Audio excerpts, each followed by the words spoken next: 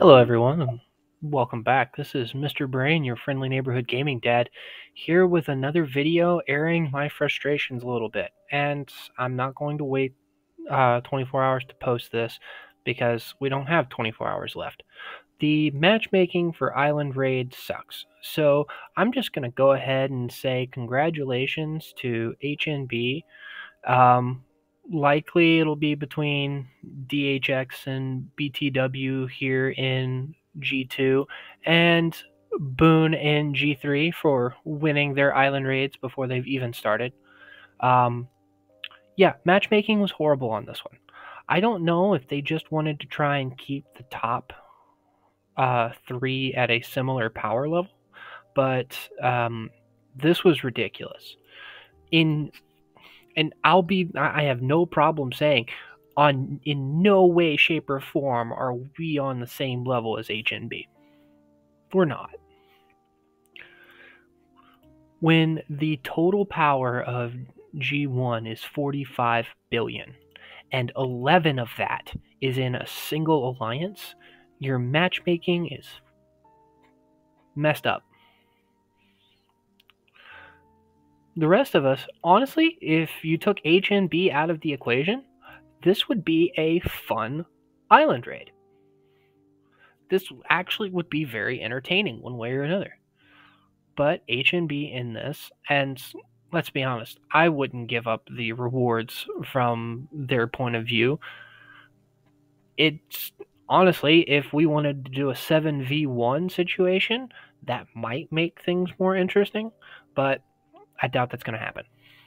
So you have G1 dominated by HNB, like entirely dominated. G2, oh crap. Let's zoom out here a little bit. G2 has G- DHX at a solid 13 billion. They've absorbed a lot of power over the last about month since this event started, you got 7 billion, 5 billion, 4.6 billion. HNT's got 10 billion themselves. BTW has 12 billion themselves. PXL 3.4. And sorry, just make sure ND21 8.6 billion. In what in what world is this fair? It it's simply not. I know that a lot of people moving around probably caused some problems for the matchmaking algorithm, but this is ridiculous. DHX, HNT, BTW, uh, Boon, HNB those all need to be in the same region. They need to be. For it to be any sort of fairness. And we'll just see is there anyone I know 40 billion and I know I know over 14 billion of it is from Boon alone.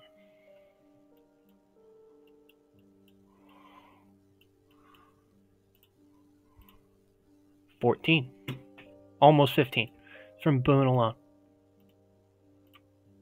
Tap, 5.8. Spec, 8.4. X War, 5.7. 7.4 from Lost. Hot 9, 6.9.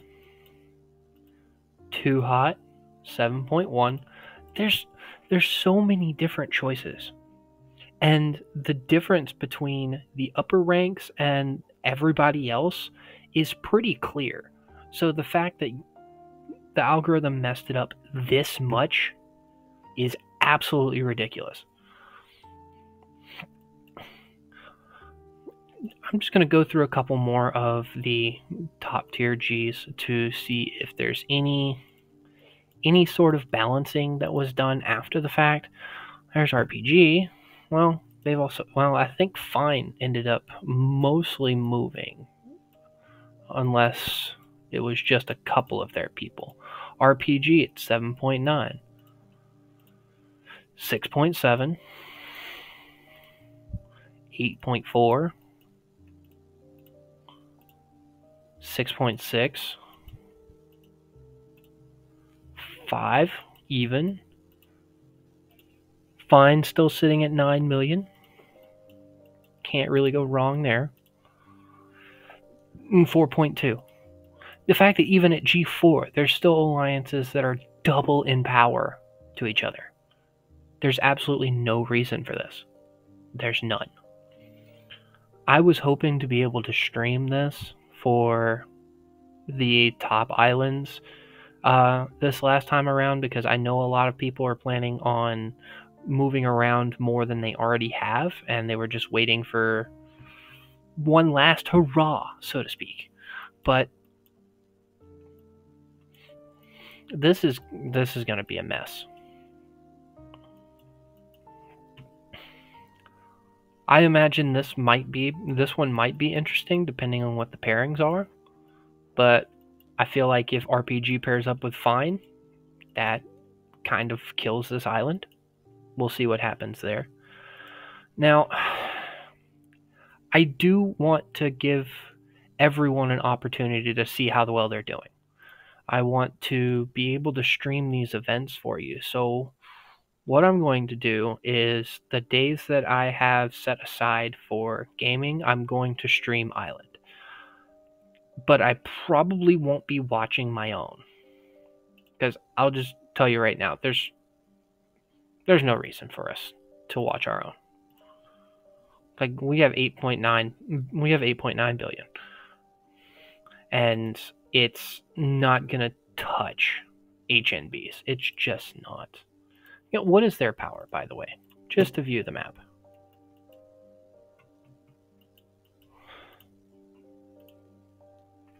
Over double. Over double. We're not there. We're not there.